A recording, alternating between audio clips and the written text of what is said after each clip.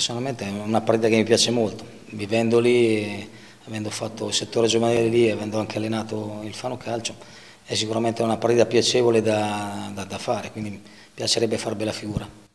Questo vuol dire anche eh, no, fare molto molto bene in campo, chiudere, chiudere in bellezza questo, questo, campionato. Sì, cercare di chiudere al meglio possibile questa annata dove è stata piena di soddisfazioni, quindi questa sarebbe un'ulteriore soddisfazione perché i ragazzi se lo meritano, hanno fatto molto bene, quindi siamo contenti per come sono andate le cose.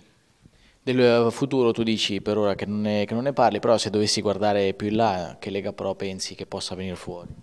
Beh, sicuramente è una Lega Pro mm, difficile, con squadre importanti, quindi sarà un è un campionato assolutamente complicato, però alla portata dell'Ancona Calcio. Per una neopromossa come sarà l'Ancona ci saranno delle difficoltà particolari? Penso di sì, soprattutto a livello di organizzazione cambia, cambia molto, e quindi probabilmente quelle squadre che vengono su da, da, dalla Lega dilettantistica qualche difficoltà più inizialmente potrebbero trovarla, però eh, bisogna attrezzarsi al più presto e quindi essere competitivi da subito. Altro futuro di cui si parla insomma, è quello di Sandro Marcaccio che nelle ultime ore insomma, fa discutere per quello che ha detto.